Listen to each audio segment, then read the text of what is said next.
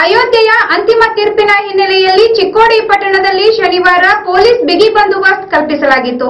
ರಾಮ ಜನ್ಮಭೂಮಿ ಅಯೋಧ್ಯೆಯ ಅಂತಿಮ ತೀರ್ಪು ಹಿನ್ನೆಲೆಯಲ್ಲಿ ಚಿಕ್ಕೋಡಿ ಮತ್ತು ನಿಪ್ಪಾಣಿ ನಗರ ಹಾಗೂ ಸುತ್ತಮುತ್ತಲಿನ ಪ್ರದೇಶಗಳಲ್ಲಿ ಹೈ ಅಲರ್ಟ್ ಘೋಷಿಸಲಾಗಿತ್ತು. ಶನಿವಾರ ಮುಂಜಾನೆಯಿಂದ ರವಿವಾರ ಬೆಳಗಿನ ಜಾವದವರೆಗೆ ಒನ್ನೂರ ನಲವತ್ನಾಲ್ಕು ಕಲಂ ಜಾರಿ ಹಿನ್ನೆಲೆಯಲ್ಲಿ ಅಹಿತಕರ ಘಟನೆ ಜರುಗದಂತೆ ಶಾಲಾ ಕಾಲೇಜು, ಬಸ್ ಸಂಚಾರ ಸಂಪೂರ್ಣ ಬಂದ್ ಆಗಿದ್ದವು. ಬಹುನಿರೀಕ್ಷಿತ ಅಯೋಧ್ಯೆಯ ಅಂತಿಮ ತೀರ್ಪು ಶನಿವಾರ ಹೊರಬೀಳುವುದರಿಂದ Chikkodi ASP Mithun Kumar G K ನೇತೃತ್ವದಲ್ಲಿ ಬಿಗಿ ಭದ್ರತೆ ಒದಗಿಸಲಾಗಿತ್ತು. ಬೆಳಗಿನಿಂದ ಸಂಜೆಯವರೆಗೂ ಅಂಗಡಿ ಮುಗ್ಗಟ್ಟು, ಶಾಲಾ ಕಾಲೇಜು ಬಂದ್ ಆಗಿದ್ದವು. ಸಾರಿಗೆ ಘಟಕ ಐವತ್ತಕ್ಕೂ ಹೆಚ್ಚಿನ ಬಸ್ ಸಂಚಾರ ಕಡಿತವಾಗಿತ್ತು.